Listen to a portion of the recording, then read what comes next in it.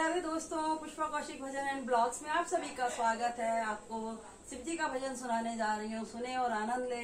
हर हर महादेव, ओम नमः शिवाय। ना झटको